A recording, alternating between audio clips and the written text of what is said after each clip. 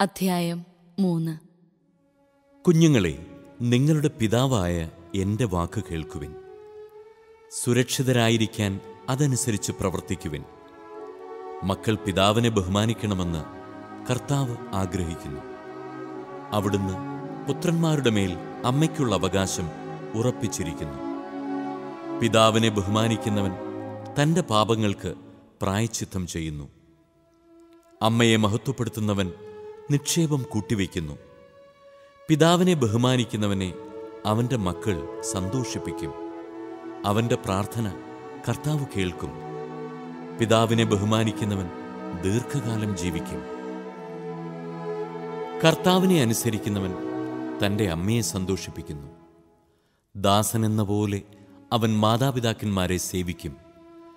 പിതാവിനെ വാക്കിലും പ്രവൃത്തിയിലും ബഹുമാനിച്ച് അവന്റെ അനുഗ്രഹത്തിന് പാത്രമാവുക. പിതാവിന്റെ അനുഗ്രഹം മക്കളുടെ ഭവനങ്ങളെ ബലവത്താക്കും. അമ്മയുടെ ശാപം അവയുടെ അടിത്തറ ഇളക്കും. മഹത്വം കാക്ഷിച്ച് പിതാവിനെ അവമാനിക്കരുത് പിതാവിന്റെ അവമാനം ആർക്കും ബഹുമതിയല്ല. പിതാവിനെ ബഹുമാനിക്കുന്നവൻ മഹത്വമാർജിക്കുന്നു അമ്മയെ അനാദരിക്കുന്നവൻ അപകീർത്തിക്കിരയാകും. മകനെ പിതാവിനെ വാർദ്ധക്യത്തിൽ സഹായിക്കുക. മരിക്കുന്നതുവരെ അവന് ദുഃഖമുണ്ടാക്കരുത്. അവന് അറിവ് കുറവാണെങ്കിലും സഹിഷ്ണുത കാണിക്കുക. നീ എത്ര ബലവാനാണെങ്കിലും അവനെ നിന്ദിക്കരുത്. പിതാവിനോട് കാണിക്കുന്ന കാരുണ്യം വിസ്മരിക്കപ്പെടുകയില്ല.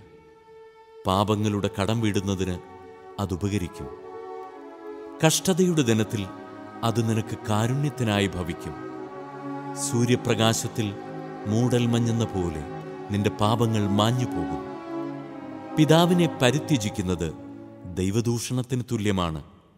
മാതാവിനെ പ്രകോപിപ്പിക്കുന്നവൻ കർത്താവിന്റെ ശാപമേൽക്കും.